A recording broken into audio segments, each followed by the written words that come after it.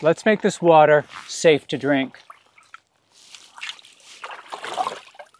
If you're lost in the woods, there's a natural disaster or a collapse strikes, you need to have the means to purify water for safe drinking. Most people are familiar with the emergency survival water straw, but there's a way to use this to purify water like this. You need the gravity water filtration system from Practical Survival. It's actually quite brilliant in its simplicity. You hang the unfiltered water higher up, attach your emergency water straw to the bottom of that. Filtered water comes through the filter, comes up into the clean water bag, passively purifying your water. You can see clean water moving down through actually quite quickly, filling up the clean water bag. So if you're at camp, a bug out location, this is a great way to passively filter your water. Then you're not restricted to drinking water there. It won't be much longer and all of the water will have been filtered. The clean water bag has a valve to shut it off. From here you can fill your canteen, your Nalgene bottle, or just sip from it directly.